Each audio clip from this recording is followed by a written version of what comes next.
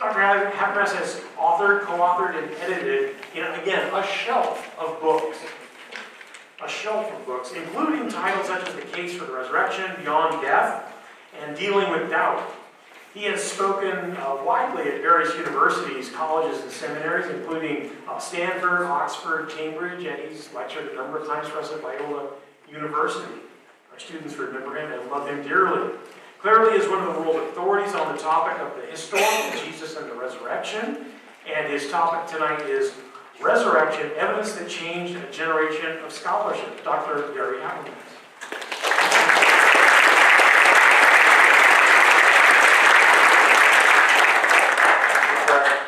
Uh, whether be with you folks tonight.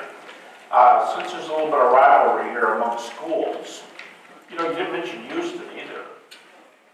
I didn't see the banner. Yeah, but I will say this, he, he wants to start a PhD program. We've had one for about seven years. PhD in uh, apologetics. In fact, we've already graduated about 15 people. We have 100 people in the program. So, you want a really good school? No. Glad to be here with you. This is a very special occasion uh, because I, I just enjoy the opportunity to, to minister. You know, apologetics is one thing. I mean, we often think that apologetics, philosophy, and some, a few other fields kind of feed the mind. But I started getting convicted probably 20 years ago, and it's been growing over the years, that if apologetics doesn't translate to ministry, we're not doing our jobs. And if we're not uplifting Christians, and if we're not, I love Greg Koukl's line, if we're not putting stones in people's shoes, uh, where they might go away and uh, be thinking about the things we talk about, I think we're not doing our job. Now, I'm also prejudiced because I think clearly the single most important evidence in the New Testament that's used for the truthfulness of Christianity is the resurrection of Jesus. You know, the resurrection is, is comes up in over 300 New Testament verses. It's related, it's not just the two big topics, it's not just related to uh, salvation, indispensable part of the gospel, but it's also the number one evidence in Scripture, but it's also tied to almost every area of theology, it's also tied to almost every area of practice in Christianity. It's because Jesus has been raised, this follows. And you can put almost anything there. Because it accredits the words of Jesus, so you want to know what Jesus taught. Uh, there's history that backs it up and so on and so on. I used to have a student years ago. I have to always think about, stop and think where I am. Um, I guess if you go somewhat due north of here. Uh, I'm from Detroit, and if any of you are from Detroit, you may agree with me that Detroit's a great place to be from. but I did live for three years in Montana. And I had a student while I was in Montana, and he, he wasn't the best student we had. But he's a pretty cool guy. I really liked him. He was friendly, just wasn't a good student. And he said to me one time, I taught church history in those days. I, had a full load of apologetics, but I did teach a couple of church history courses. And you know how history exams look, right? With a lot of blanks, names and dates. And he said, whenever I take one of your exams, true story, whenever I take one of your exams and I don't know what word goes in the blank, I put the word resurrection and I know I will get at least half credit. now, the reason he would get half credit is because Habermas thinks the resurrection is related to everything. So I have to think about you know, what's, what it's got to do with Luther or Calvin or something. But I mean, sure, they must have said something about it, so him half credit. and when he took my exams, he usually got half credit. In fact, one of the last exams he took for me, he went down the true false. I think I don't think he even read it. He just went TF, TF, TF, TF. He got to the fill in the blank and he wrote resurrection, resurrection, resurrection, resurrection. Flipped the page, resurrection, resurrection, resurrection. Did about six times and turned the rest of the exam in blank. So you got like an 18 or something. That same school that I was teaching at in Montana, they put a skit on one night, and it was kind of a spoof on professors. And my son, who was just a little tiny guy at that time, uh, they said in the skit, not a true story, but they said, yeah, we saw Rob walking down the street, and we said to Rob, Rob, beautiful day, isn't it? And Rob said, what does that have to do with the resurrection? so you know my kids were getting around the house. Well, the resurrection is just that central.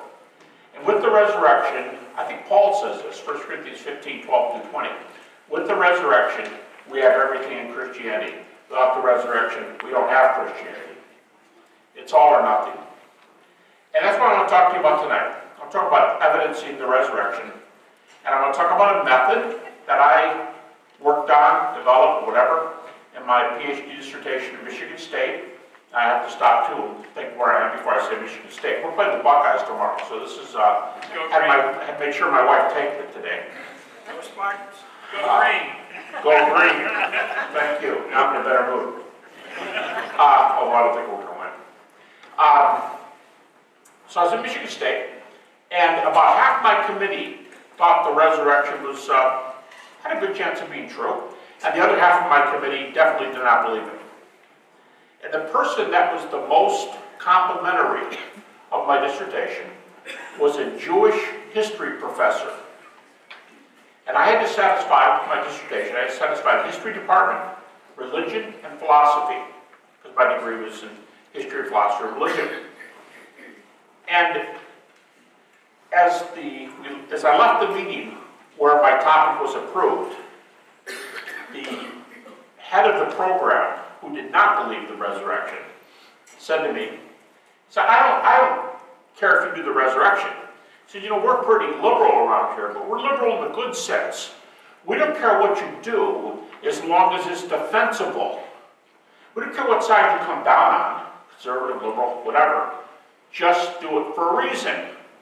And he said, therefore, don't tell us the resurrection happened because the Bible said it happened. And he started to walk away like, have a good day. And, and I thought, don't tell me it happened because the Bible said it happened. Now, I'm going to explain probably the most important single point in the minimal facts argument that I kind of molded around his challenge that day. And the minimal facts argument, people don't understand this point. I would say on college campuses, at secular groups, I will say, I am not going to assume the Bible is inspired. Because for my purposes, if it isn't, it doesn't make any difference for my argument. But I'm not even going to uh, assume the Bible is reliable. Because if the Bible is unreliable, you can still get this argument. So I call this argument the heads I win, tails you lose argument. and I say this on campus all the time, and anymore it's kind of a neat thing when I go to state universities. I'm often co-sponsored by a Christian group on campus and a free thinkers group on campus. They both sponsor me.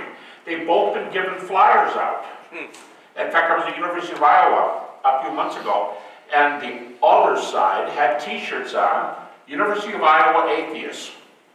And they helped pass the, the uh, brochures out. They didn't know this that night, but one of their faculty sponsors is a well-known skeptic, Evan Fales. He's very well-known philosopher.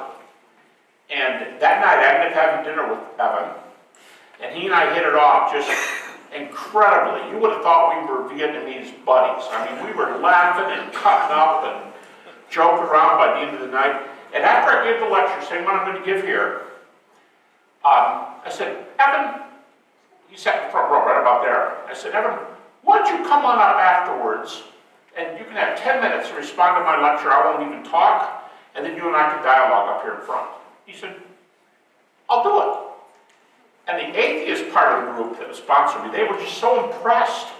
And people heard them before the meeting, they were saying, they asked Evan if he wanted to come up. They're going to give Evan a slot up here. And they were just, they just thought it was so cool that we would give them a say There were like 800 people there for this thing. And uh, we dialogued. It was over, we had a photo shoot. It was hilarious because he would like hang on my shoulder and make faces and it was a great time. But I truly believe that if you're going to minister and use something and take it, you can catch more flies with sugar or honey than you can with vinegar. And so I try to befriend the folks that I chat with. And so he knows this argument, and I use this. I used it for the dissertation. And the point is, when I say this, when I say I'm only going to use verses which critics allow, I'm only going to use texts, and then I say, I'm going to go to 1 Corinthians 15. Here's the response from folks who don't understand what I just said. And they're usually the mythicists. Um, I could stop here and say something about mythicists, but I, I won't do it. Um, I'm, really biting my tongue. Uh, but they think I'm doing a bait and switch. They think I'm saying, I'm going to give you evidence for the resurrection. All right, let's turn to the Bible. So they go, I feel cheated. I feel cheated. Why? Because you act like you're not going to use the Bible and then you do. They misunderstood, misunderstood the whole argument. My committee at Michigan State, they did not care I used the New Testament. So what about what your advisor said?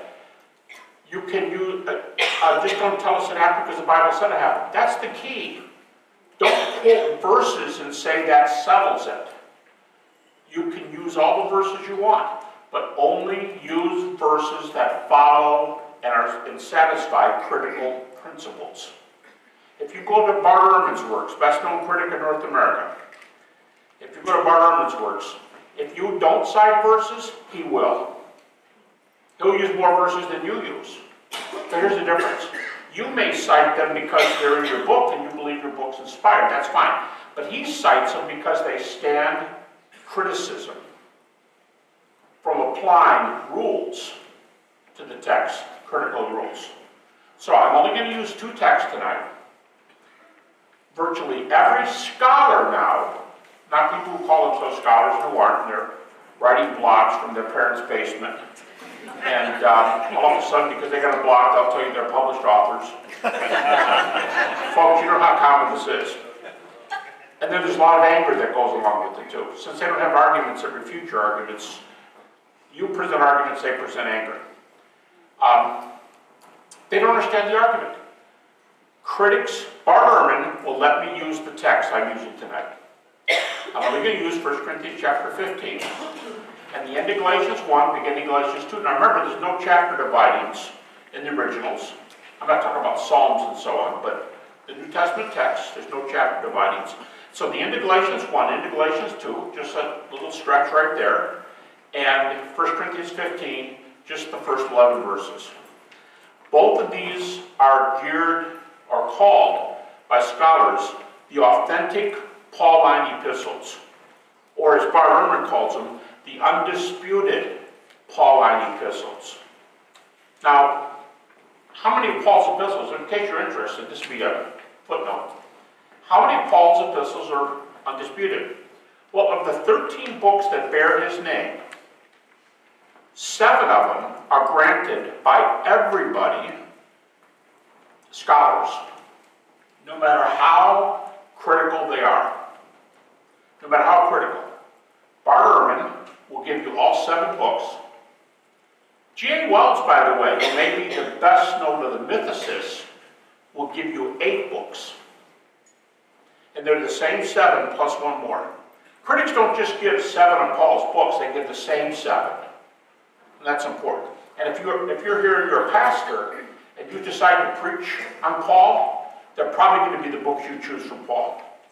Because they're the most, generally thought to be the most important Pauline epistles. Here's the seven authentic epistles.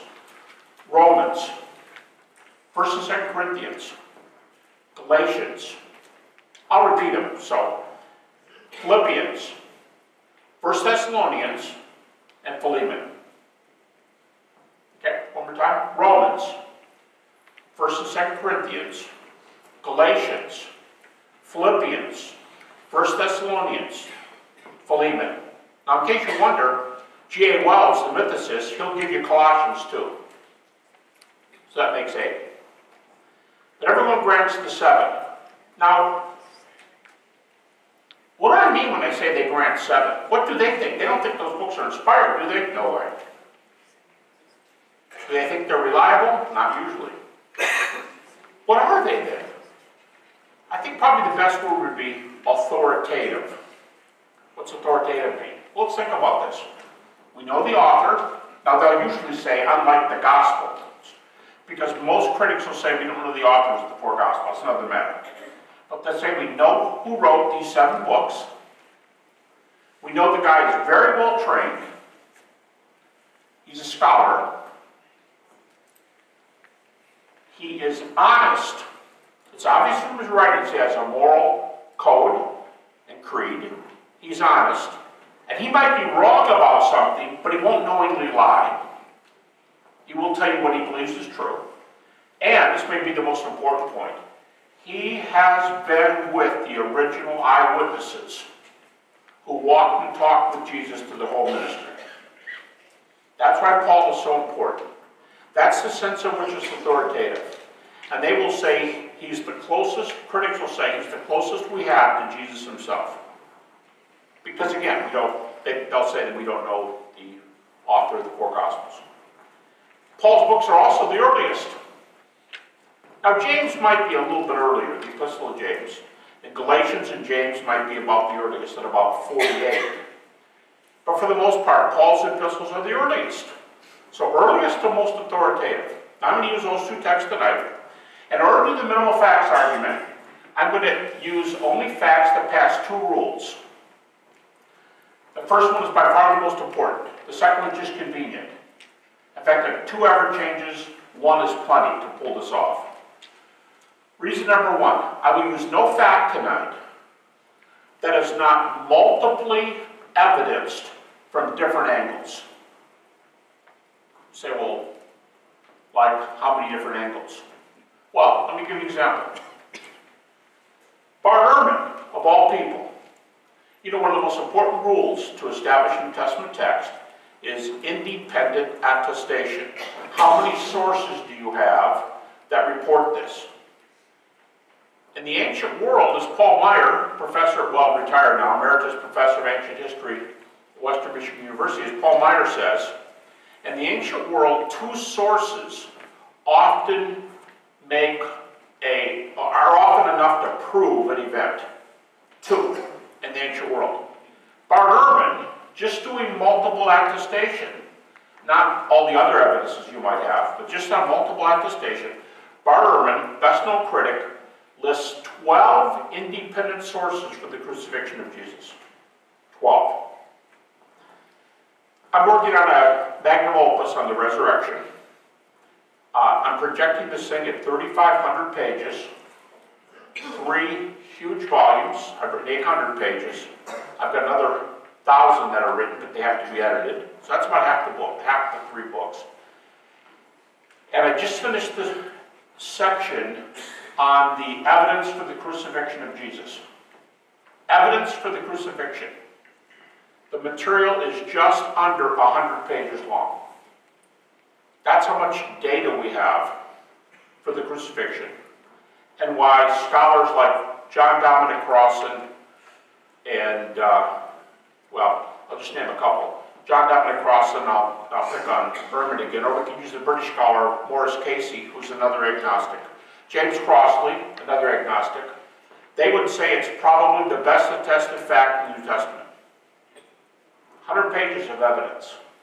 That's how solid it is. Now, crucifixion doesn't prove resurrection, obviously, but it's a prerequisite for resurrection, so we need it. I'm going to start there tonight, in just a minute. I'm going to spend the rest of the night walking off the timeline here, and crucifixion is going to be down there.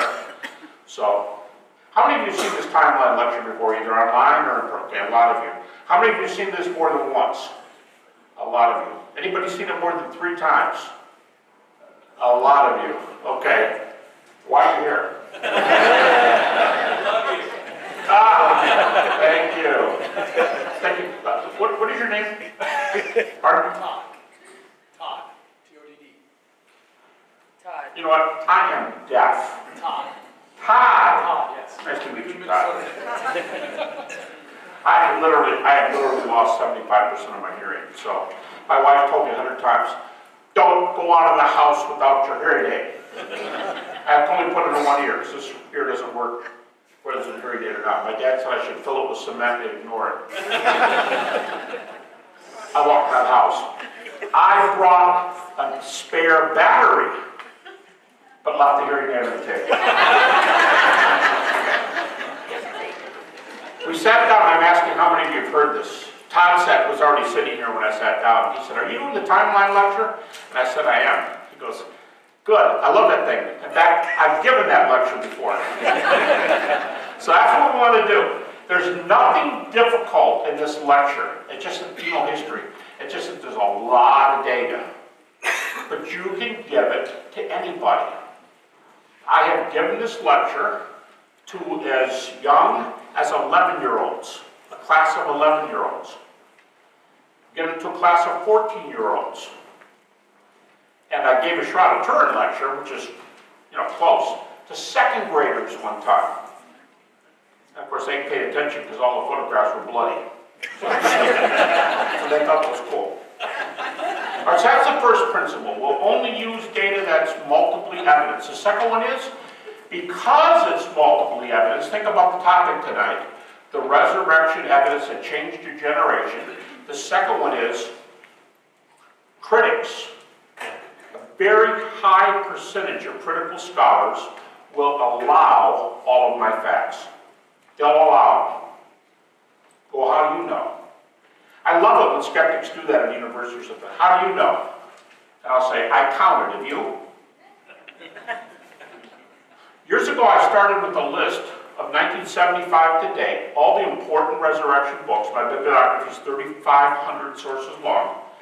I went through about 2,000 of them in detail. I took notes on where scholars were on 140 subtopics on death, burial, resurrection, and then notes on where scholarship alone is are 1,200 pages long. I'm just saying there's a lot of data out there, but I know head count. I know about where, pe where people are percentage-wise. And so the second principle is most scholars will agree with you. What percentage? Well, I'm going to use just a half dozen facts approximately tonight. And 90 some percent of scholars agree with them. The main ones I'm going to use, the fact that there was a crucifixion and that the disciples thought they saw Jesus alive after his death. Those two are probably the most widely allowed facts in the New Testament. And I would say the percentage of admittance among critics is between 95 and 99 percent. So my argument is, each fact is attested by multiple evidences, and that's why the critics allow it. Now let's say starting tomorrow, critics don't grant it anymore. They're tired of allowing it, and people keep getting them in the corner because they allow the data. And they go, I don't allow it anymore. Bart Ehrman just recently changed his view on the empty tomb. He used to allow the empty tomb. He was starting to admit too many things. And so in his last book, he tells you why he changed his mind. Let's say they all start changing their mind. The first reason is the most important. I will only use facts that are multiply evidenced from a number of different angles. All right? One more illustration, and I'm going to start on the timeline. Uh, two summers ago, I was dialoguing with James Crossley. James Crossley is an agnostic New Testament professor. He calls himself an agnostic unbeliever. He says, belief-wise, he's about exactly where Bart Ehrman is in the States. Very well known in England. By the way, he's an agnostic. You know he dates the Gospel of Mark? He did his, he did his dissertation on this. He dates the Gospel of Mark to about 40 AD. His mentor, Maurice Casey, dates Mark to 40 AD for totally different reasons than James Crossley does. So there's two sets of reasons for 40 AD. And Crossley puts Matthew at 50 to 60 AD. They predate evangelical dates. So we started the dialogue, and the moderator said, the name of the, we did two short dialogues. The first one was called The Minimal Facts Evidence the Resurrection of Jesus. And the, by the way, this is on the Unbelievable program. You can get them online. We were both live in the London studio. And Justin Brierley said, you know, the minimal facts. Indicate the resurrection occurred. He said, Gary, how many facts you can use today? I said, I'm going to use six. I changed the numbers because critics will give you more than the number I use. So I'll just play musical chairs and depending on who I'm talking to, I'll take different facts. As long as they're from this group of well-attested ones. He said, okay, six, go ahead. I named the six. I didn't even give any evidence. He said, okay. He said, James, what do you think? And just like this, James Crossley said, I'll concede all six of them, no dispute. Check that. And then Justin, moderator, said, okay, good, good way to start. And James said, can I say one more thing? And Justin said, sure. And he said, these are not just well-attested facts, these are the best attested facts in the New Testament. So that's the note we started on. Now let's see what you get from this, okay? Only use facts that are well attested by multiple evidences, and because of that, virtually everybody agrees. Let's start down here. Now this is creation down here. This is crucifixion. Down there is 2016. And in between, for the most part, and first I'll, I'll do a little more uh, data here, but for the most part, my mind is only going to go about 25 years. All right? Okay, so Jesus dies approximately 30 AD. 30 AD is a great year. It's the most popular year, probably it's a nice round number. Scholars don't, don't give a date real often, because it's kind of irrelevant to them. The next most popular year is not 29 or 31. Next most popular year is 33. So you have to get the moon right for Passover and everything. And you have to ask how many times this happened in April, and what years are they? And so on. It's like 27, 30, 33. All right. So Jesus dies about 30 AD. I'm going to call this ground zero because we're going to go plus and minus. Well, not minus. We're going plus from this point. Okay. Now, if you ask the average Christian, what's the evidence for that event? And they're going to say, well, we've got the Gospel of Mark. Now, I'm going to use critical dating, okay, to show you that doesn't really make any difference if you use the critics' dates or evangelical dates. They're going to be either very close to the same or only a few years later, not enough to change anything. And if you go with the critics' dates, Mark said about 70 AD, or plus what? 40. Plus what? Plus 40. Plus 40. Great for ancient history. 40 years. Super. They put Matthew at about 80, or plus 50. 50. Or Luke at about 85, or how much? Plus 55. And everybody puts John at about 95, or how many years? 65. Now, you can stop right there. And 65 years is fine for historicity. I mean, even in modern times. I remember hearing about a man who was doing his memoirs of World War II, and it was in the early 90s. That would be 50 years after the fact. That would be right about where Matthew or Luke are. That's fine. No one's going to say, you're a liar. Nobody can remember things for 50 years. I won't embarrass anybody here, but how many can remember things from 50 years ago? And you know the crazy thing about some of them who raise their hand, they're not even 50. okay. No problem remembering things from 50 years ago. It's not an issue. In fact, Bart Ehrman, when he lists sources for the historical Jesus, you know how far he goes? 100 years. He goes from 30 AD to 130 AD. Well, guess what? All four Gospels are in there. Now, we could give reasons for this, but that would be the reliability argument. That's the other way that evangelicals argue for uh, the Gospels. And let me just, or the New Testament. And let me just say, I have no problem with the reliability argument. I don't think it's as strong, but I think it's a good argument. And it complements a minimal facts argument. A reliability argument is a top-down argument.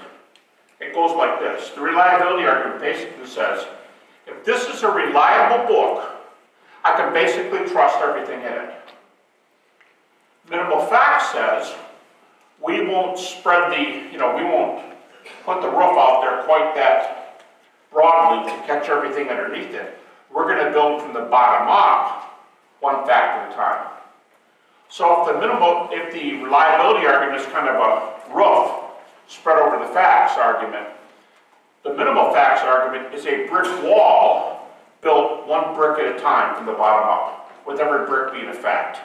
If you want two illustrations of what I'm doing.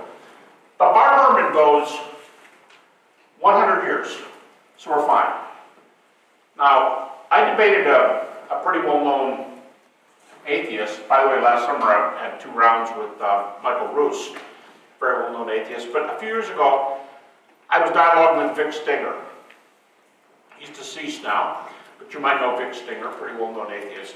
And we were dialoguing, and we're in the dialogue part, and he got to speak before we had two lecterns up here. We're about 15 feet away, and he said, he said, the Gospels are lousy sources. They can't be believed. They're way too late after the events they record. And it, bugs me. I get kind of steamed a little bit when people say things. I don't think he was saying anything that he thought was false. He probably thought it was true. But it bugs me when people give false data and speak like it's true. Especially because there were about 500 there. It was at uh, New Orleans Baptist Seminary. It was on a Saturday. And a lot of those guys are seminary students. And I know what happens to people when they have grounds for doubts. I've written three books on doubt and, you know, know what happens. And, and I, I can't stand someone saying something, so it was my turn to say something that's not true. So I, when it was my chance, I said, so the Gospels are too late, right? He said, yeah, they're too late. Can't be much true can there? Be much true. So what do you think about Alexander the Great? Yeah, good source. Well, how much do we know about Alexander? A lot. Do you? Yeah, a lot. Do you have any idea how long Alexander comes after the sources come after his death? Nope, he didn't know. Yeah, well, don't debate, you don't know what you're talking about. If this is Alexander's death from about 320 AD, here's the earliest, there are earlier written sources, but we don't have them. Here's the earliest source, and I don't mean a description in a rock, I mean a good-sized text. Here's the earliest source for Alexander's death on this timeline. Earliest source. Now Mark, we know it's too late. We know he's too late. He's too late. John's too late. But Alexander, he's special.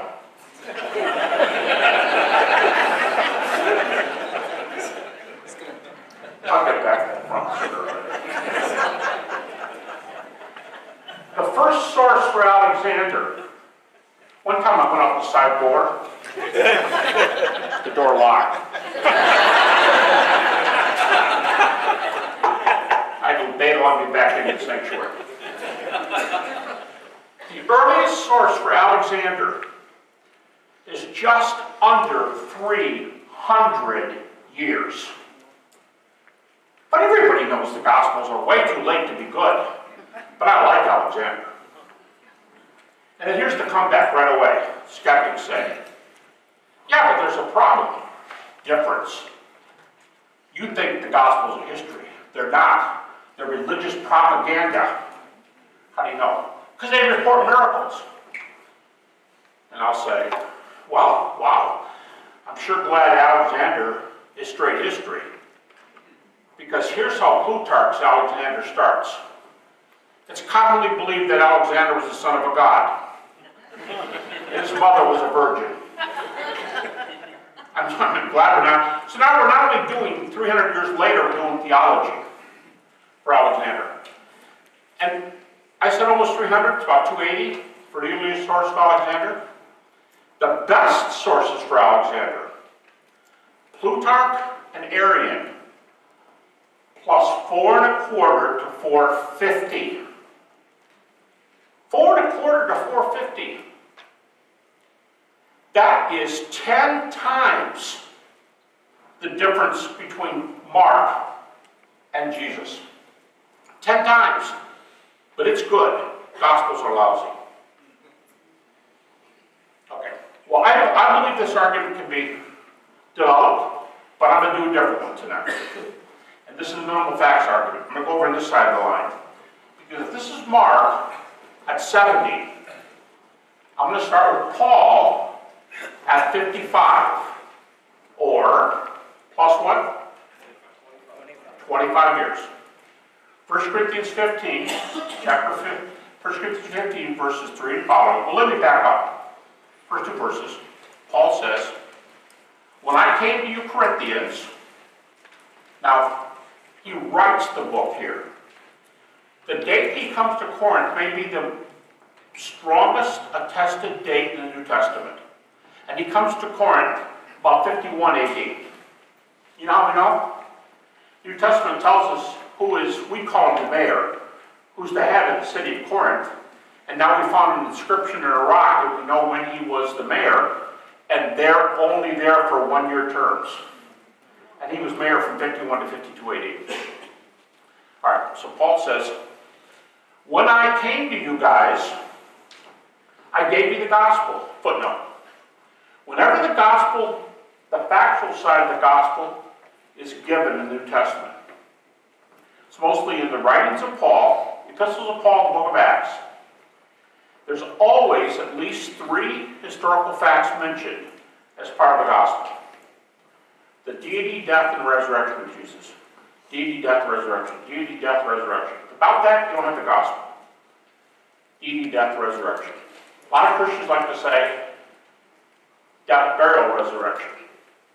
Nothing wrong with that. Burial is mentioned a few times in the context, but it's only mentioned uh, comparatively few times compared to deity. So, well, how do you get deity? How do you get deity? Because titles are used.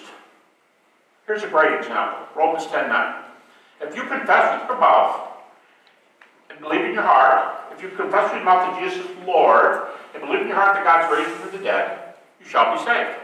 Now, notice what's there Lord, raised, dead.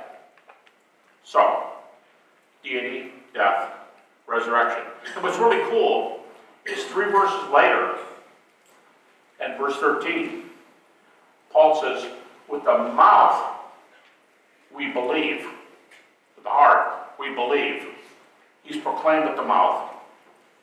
And he quotes Joel, whoever calls upon the name of the Lord will be saved. In that text in Joel, you know what the name for God is in the Old Testament? Jehovah. So when he says, confess with your mouth that Jesus is Lord, how much Lord? Jehovah. It's pretty high Christology. Son of God, died for your sins, rose from the dead. Lord, died for your sins, rose from the dead. And there's a human side. What are you going to do with them? Have you said, I do to Jesus? I use that phrase because in the West, that's, well, many parts of the world, that's the closest we have to uh, an affirmation of total commitment. You know the words, better or worse, rich or poor, sickness and death. I mean, I mean, in sickness and health till death do we part. That's commitment. And Paul says, have you done that with Jesus? Now, this one is a doctoral dissertation, but I'll just tell you the conclusion. In the New Testament, there are dozens of passages which are, are early creedal passages, synonyms, almost synonyms, they're not quite synonymous, but almost synonyms would be creeds, traditions, or confessions. And they are the answer to this question. I think it's the most exciting question in the New Testament. Here's the question.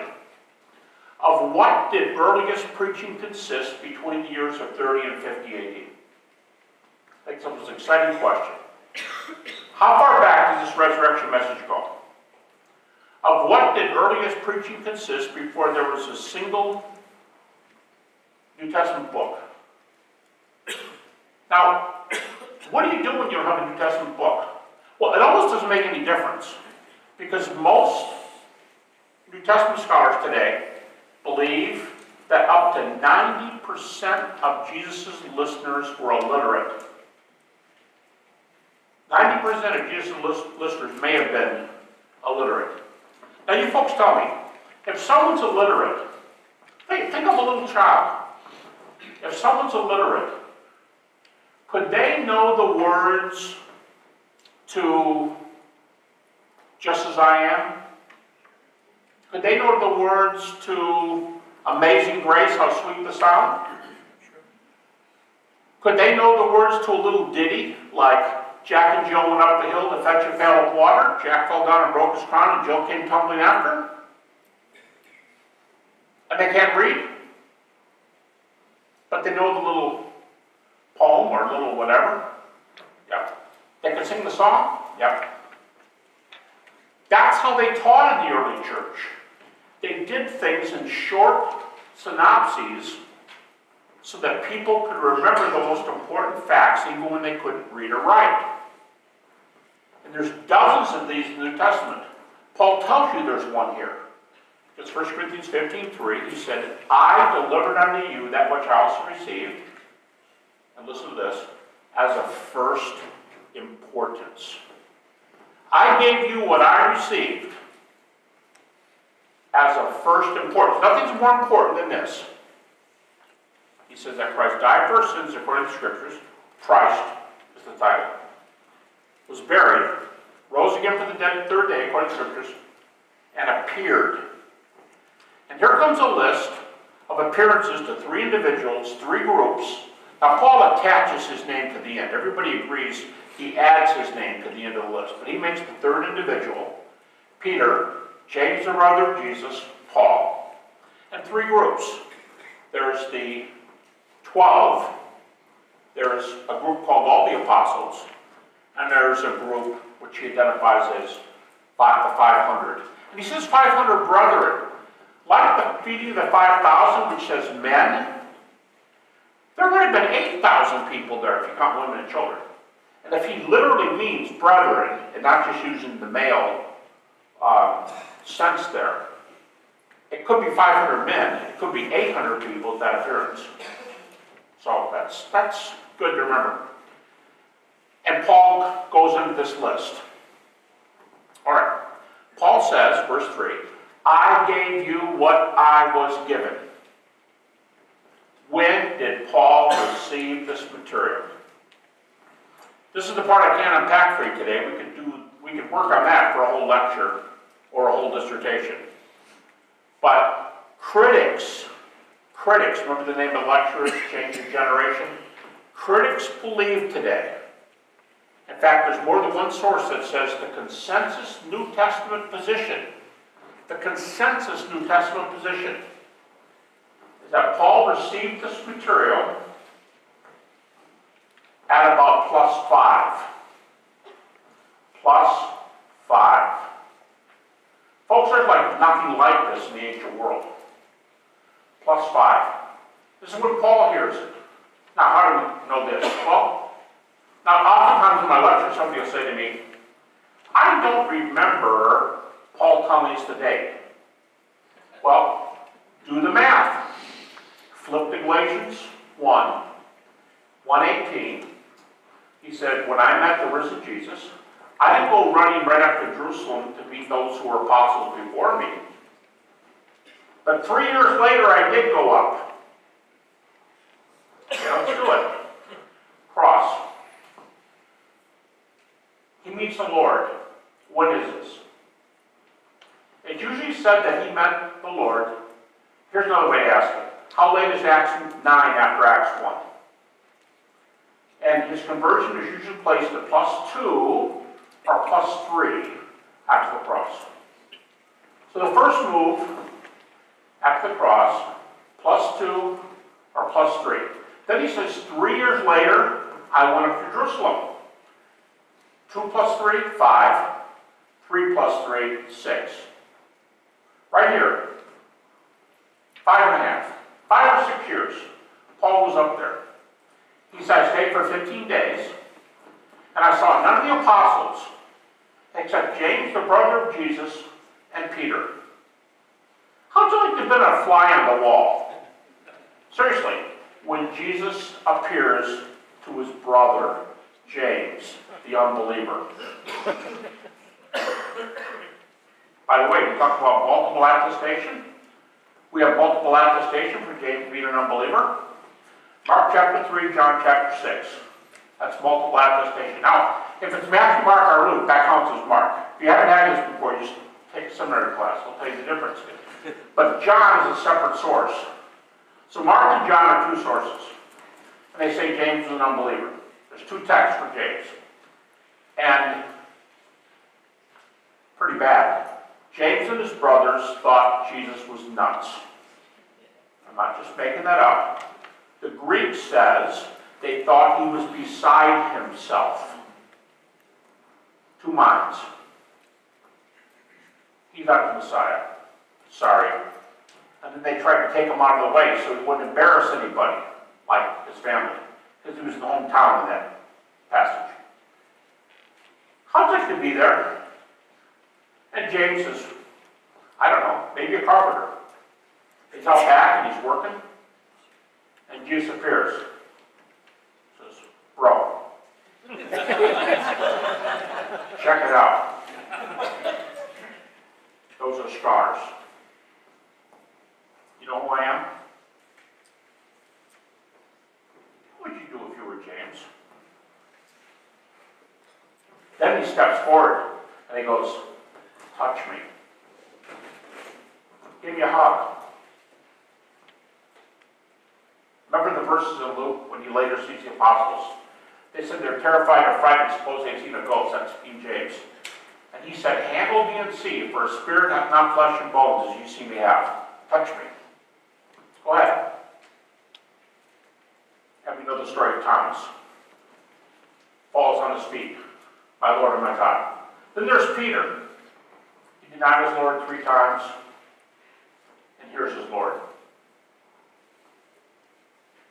Feed my lambs, Peter. That was later at the lake, but here I am. How'd you like to be one of those guys, James or Peter? And he sees him here for, for 15 days. Now, there's a Greek word in this text. Galatians chapter 1, verse 18. The Greek word is historēsai. Historēsai. The Greek root word is H-I-S, if you transliterate, right? Greek doesn't have Arabic letters. H-I-S-T-O-R. That's the Greek word from which we get the English word, what? History. Now, we can't jump the gun and say, because it's the Greek word from which we get the English word history, that that means history. But I'll tell you, there's been, that I know of, at least three lengthy word studies done on that, all by non-evangelicals. And here's what they say about the root word. It means to check something out in person. I would say the best meaning, maybe, for store is what many of us in our local towns see on the 10 or 11 o'clock news whenever you get it in your area. And so many of them. How many news programs start like this at night? Eyewitness news. And you know, the implications are, we're bringing it to you right now. We know, because we're there. And yes, there's a big hurricane down in Florida, but we got somebody in the seat. It's Geraldo Rivera. He always likes to be in storms. you remember in the old days, he always liked to be in the heart of it to show you something for you. Okay, that's eyewitness. That's eyewitness news. Histor, historēsai. I was with these fellows, plus five or plus six. And what were they talking about? Don't forget the theme of the book of Galatians. It's only six chapters long. You state this, the theme in about one sentence. It's all about the gospel. Don't get it wrong. Don't add to it. Don't subtract from it. Give it the right way, or it's heresy. You understand? Go. That's it. The gospel. If they're talking about the gospel, they've mentioned the resurrection. And who better to ask about the appearances than James, the brother of Jesus, and Paul? By the way, this is quick, but 14 years ago, Paul, 14 years ago, 14 years later, Paul goes back up to Jerusalem. And who's there? James is still there. Peter's still there. And John is there. Of course, not to mention Paul. Why are those four important? James, Peter, Paul, John. Maybe somebody else was present. Could have been Peter, Paul, and Mary. Seriously, she was probably there too. But they're there. And what, what, what's so important about these big four? They are by far the most influential Christians in the early church. If you want to go to the most authoritative person in the early church, go to one of those four. Two of them are part of the twelve, Peter and John, and two are later made apostles, James, the brother of Jesus, and Paul, both unbelievers and skeptics of different sorts. Four. And what are they talking about? Galatians 2 2. I went on 14 years later, critics put this about 48 AD, so about plus 18. I went up about plus 18. I presented to the apostles the gospel I was preaching. Why? To see if I was running or had run in vain. But what? Well, yeah, I just want to make sure we're on the same page. This is why Paul's works are so important, they're so authoritative. The best thing Paul gives us is that he knew these guys. And he asked them about the resurrection appearances because he set before them the gospel. There's no gospel without resurrection. They had to discuss resurrection. Bart Ehrman says, Paul spent, now he's talking about that one, but he says Paul spent 14 days, 15 days with the eyewitnesses. And then Bart says, I'd like to spend 15 days with Peter and Paul. Is it Pete, Peter, and James? And then Bart Ehrman says this Where do we get closer to eyewitness testimony in the New Testament than right here? It's the best insider's track if you want to present eyewitness testimony. It's because James, John, and Peter said so. Now, Paul was a witness too. So that's four eyewitnesses. All right, end of the argument here. Paul gets this at plus five or plus six. But watch carefully. This is when Paul heard it. This isn't how old the creed is. This is when Paul heard it. If he got it from Peter and James, which is a consensus New Testament position, they had the testimony before he had. And the events on which the testimony is based are earlier still. We're right back to the events themselves. Bart Ehrman, this is why critics call these pre-Pauline creeds. What's a pre-Pauline creed? The earliest of them? What's a pre-Pauline creed? Here's the cross. When's Paul converted? What's pre-Pauline? Right there. That's a pre-Pauline creed. Meaning, it was around when he was saved. Paul didn't invent this message. Paul comes on the scene. It already existed. It's pre-Pauline. Bart Ehrman dates this material, several forms of it. New Testament, he probably dates maybe six different forms of it, to one to one to two years after the cross. You want good data? Plus one or plus two. Go, the critics believe this? Yeah. Bart Ehrman says one to two years.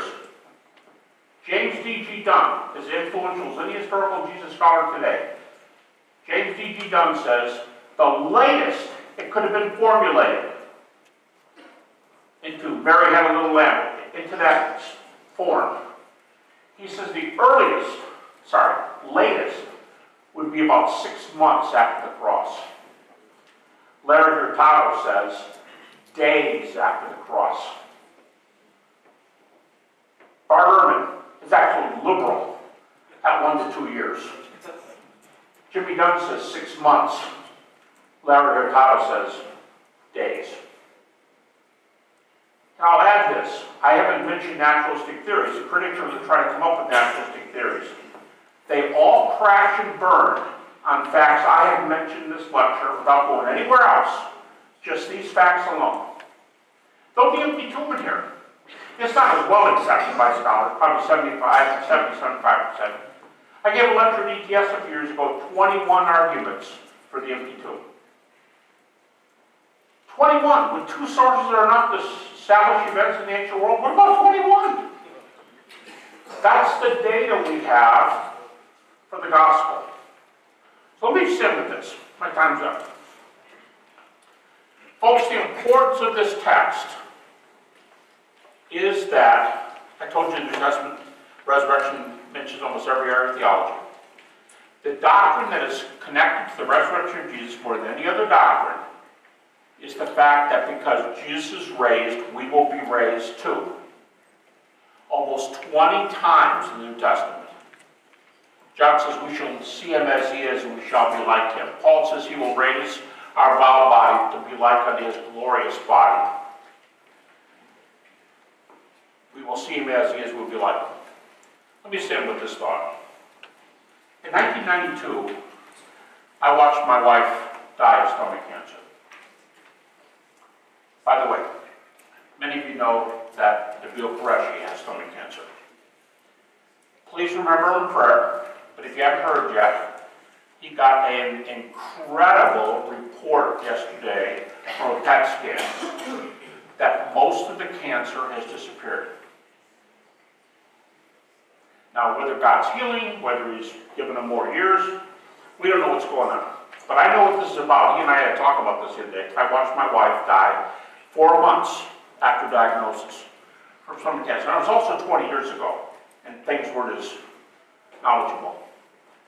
Tell me, or tell Michelle, Nabil's wife, tell people who are supposedly losing their loved ones according to the stats, tell them it doesn't make a difference whether Jesus is raised from the dead or not. The most touching card I got when my wife was sick, I couldn't even repeat the words for a whole year afterwards. It said this What are you going to do when you get to heaven and walk with your wife down the golden streets, hand in hand by the river of life? I couldn't even read the words, let alone say them to somebody, because they were so precious to me. That's the difference between the resurrection of Jesus being true and the resurrection of Jesus not being true. If it's our time and we go, we're going to the best place in the world. Paul said Philippians 1 21 and 23. He said it's far better to die and be with Christ. Far better. That's the message we have, folks.